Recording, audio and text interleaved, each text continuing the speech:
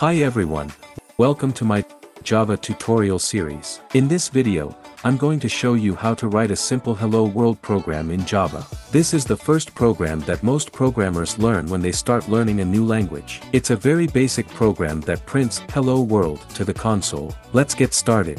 First, we need to create a new project name it Hello World. Now, we need to create a Java class. A class is a blueprint for creating objects in Java. It defines the properties and behaviors of the objects. To create a class, we use the keyword class followed by the name of the class. The name of the class should start with a capital letter and follow the camel case convention. For example, we can name our class Hello World. Next, we need to create a main method. A main method is a special method that is the entry point of any Java application. It is where the execution of the program begins. To create a main method, we use the keyword public followed by the keyword static followed by the keyword void followed by the name of the method which is always main followed by a pair of parentheses followed by a pair of curly braces. Inside the parentheses, we need to declare a parameter called args which is an array of strings. This parameter allows us to pass arguments to the main method from the command line.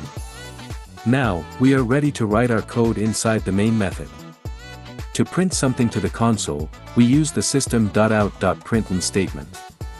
System is a predefined class that provides access to system resources such as input and output streams.